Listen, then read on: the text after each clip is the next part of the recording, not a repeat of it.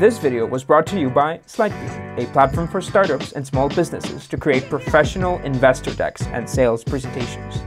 Get one free month by signing up at slidebean.com slash YouTube.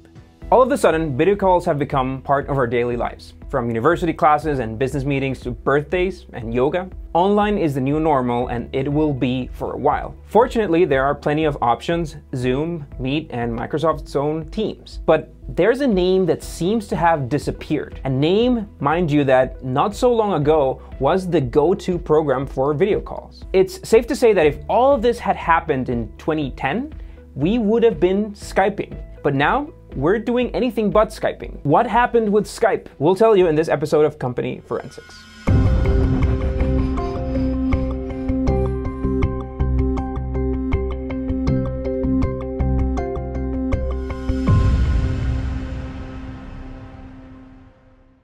The origins.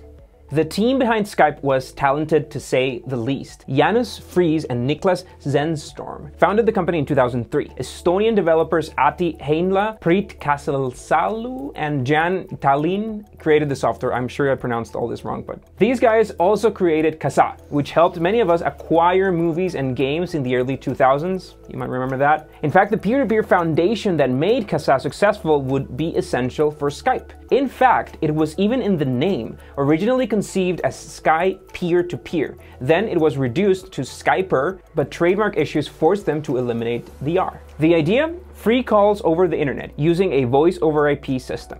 This software turns the user's voice into data, then sends it as digital packages over the internet. But voice over IP wasn't new. Actually, it existed for years, so what was new with Skype? Well, based off the software from Kazaa, Skype used peer-to-peer, -peer, which meant data didn't have to be processed by a central server. No central server meant less infrastructure, which was a cost-effective business model. Skype's seemed promising, lower call costs around the world. The team was so confident that Janus Friis was quoted as saying, We hope that one day, instead of saying I'll call you, people will say I'll Skype you. And spoiler alert, he was right. One month after the launch, 1 million people had downloaded the software. By mid 2006, Skype had over 115 million Skype customers and was recognized as the fastest growing internet community at the time. Skype's recipe was very, very attractive. Calls within Skype were free, which was great, but also Skype users could call land and mobile phones known as Skype out. Regular land and mobile phone users could call a Skype account known as a Skype in. All of this for cheaper rates. In fact, it was so efficient that some countries eventually banned Skype altogether to protect their phone companies. Video calls boosted the software's popularity even more, and the company was beginning to attract possible buyers, especially a certain online auction company called eBay, who dished out $2.6 billion for Skype in 2007. It seemed pretty logical. Skype gave eBay better communications between buyers and sellers and helped reduce friction in e-commerce. Now, a detail here is that both Friis and Zennström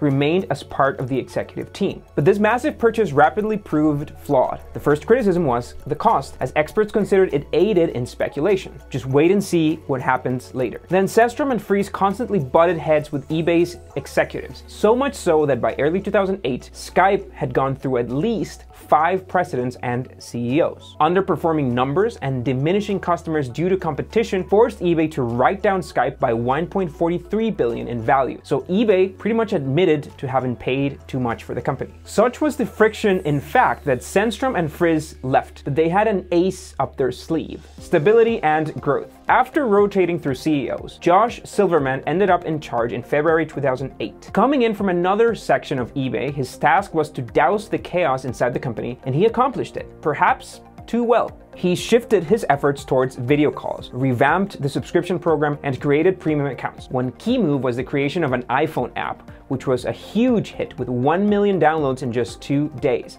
as well as moving forward with an Android version. He also shed excess weight by removing plenty of features, including Skype's own version of the Yellow Pages, the Skype Me feature which allowed non-contacts to call you, and removed the Skype Cast feature, a recording software that could record conversations. And the efforts seemed to pay off, as in 2009, Skype grew at a rate of around 380,000 users per day and $740 million in revenue. But not everything was going smoothly. Some say that Silverman made Skype too stable and that too much of the developments took too long. Plus, call reliability was steadily plummeting. Here's where peer-to-peer -peer comes into play again. Yes, peer-to-peer -peer meant less lag between calls, but Skype was prone to crashing as it relied heavily on individual PCs instead of central servers. When Friis and Zennström sold Skype, they didn't sell the peer-to-peer -peer software. In fact, what they did in the past was license the software to Skype and other companies like Joost, an internet video service, and Joltid, both of which were theirs. But when eBay announced that it would sell Skype to a group of investors in an effort to free itself of the flawed company, the co-founder said, hold up, that's our software you're selling. Legally, if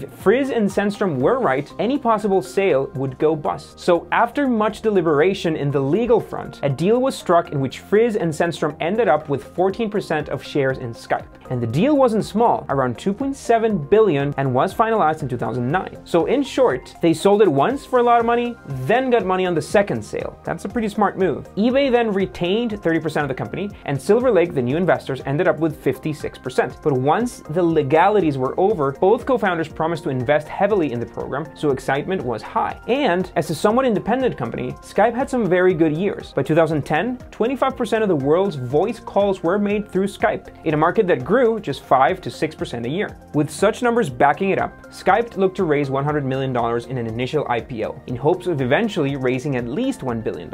There was also talk of another sale, which included possible buyers like Google, Microsoft, and Facebook. Not bad at all. And yet, there's another side to the story. Yes, Skype seemed great, but it actually lost about $7 million in 2010 and had a long-term debt of close to $700 million.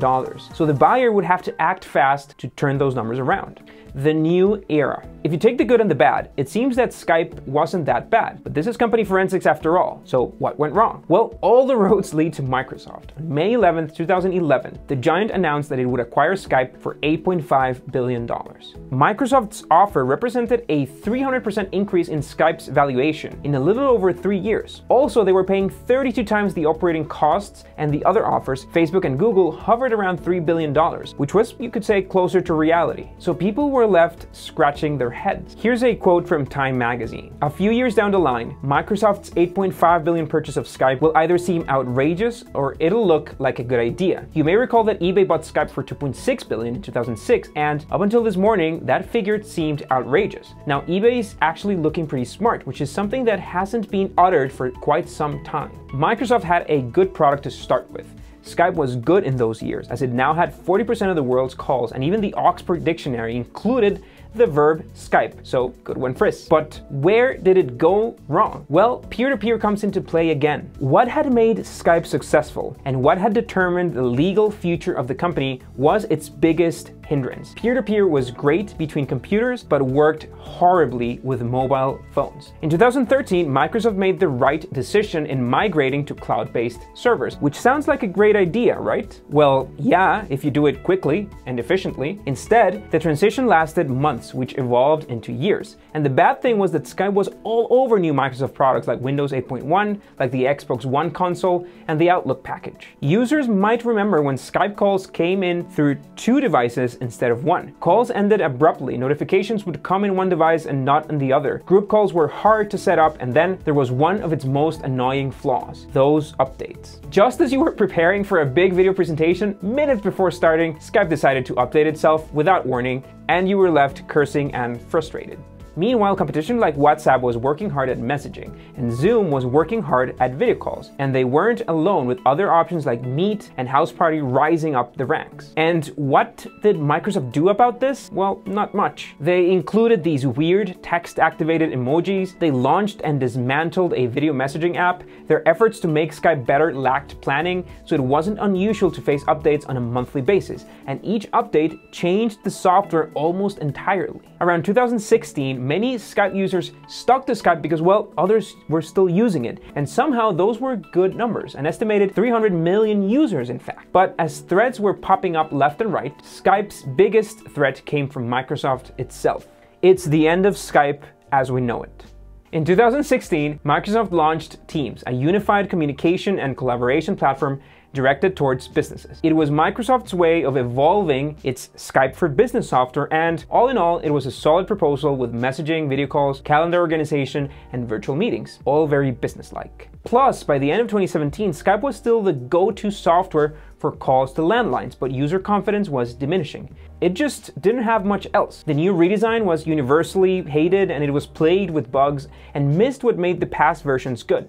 So the app ratings plummeted. Meanwhile, take a direct competitor, Zoom. It was easy to use, users didn't have to be members, and got 40 minutes for free. It's as though it was designed for non-techies. And that was the key. Skype's user experience wasn't kind.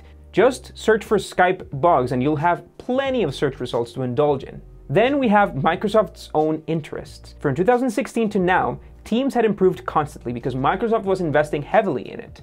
They took all the good from Skype and improved all the bad data transfers, tasks, video, and calls. And live changes constantly. Take this moment, for instance. As things become even more virtual, Skype's use has increased, but so has Teams. And Microsoft was being pretty honest about maintaining Skype as a for the moment tool, as eventually they would migrate everybody to Teams. Microsoft had even announced a Teams for Consumers version, which was widely celebrated. And that's how much people hated Skype. Who celebrates the death of a software? Well, those who worked with it for too long. In the end, Microsoft learned a lot from Skype. Teams seems like the adequate solution, taking the good, leaving the bad, improving altogether. But those lessons learned were worth $8.5 billion. Would you pay $8.5 billion for lessons? Instead of that, don't pay anything. Just watch the rest of our company forensics videos. Hit that subscribe button to do that, and we'll see you next week.